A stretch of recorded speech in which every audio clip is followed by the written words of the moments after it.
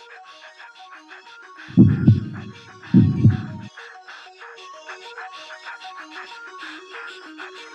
run the race, the pace is too fast, it just won't last.